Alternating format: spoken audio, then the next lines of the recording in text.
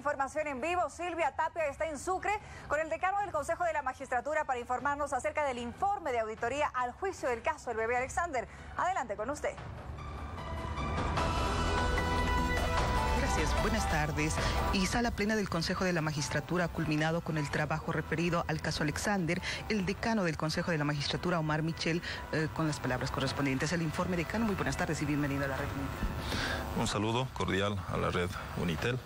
Miren, en el contenido eh, se está determinando muchos hallazgos y muchos indicios que nos hacen presumir que se han producido en el campo disciplinario faltas gravísimas, faltas graves y faltas leves.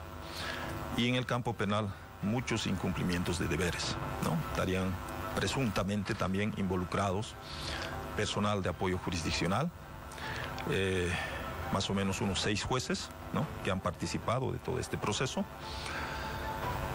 Y también vemos algunos indicios en la actuación de los fiscales. Estamos remitiendo en el día una copia de esa auditoría jurídica al señor fiscal general del Estado y al fiscal departamental de La Paz. El pueblo boliviano conoce de que eh, en el marco de la transitoriedad eh, nosotros hemos destituido a la jueza Pacajes.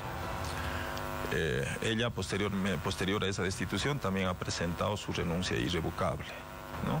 que la hemos aceptado, ambos escenarios están vigentes en el campo legal. Eh, la próxima sala plena, cuando estemos completos, porque nuestro presidente, el doctor Alcón, en este momento está en una misión oficial ¿no? Eh, de viaje, en la próxima sala plena asumiremos la decisión definitiva respecto a los dos jueces que eh, quedan de ese tribunal de sentencia.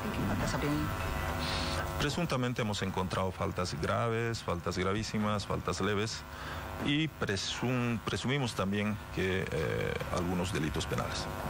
Este es el informe que se tiene desde la capital. A estas horas de la tarde retornamos a estudios centrales.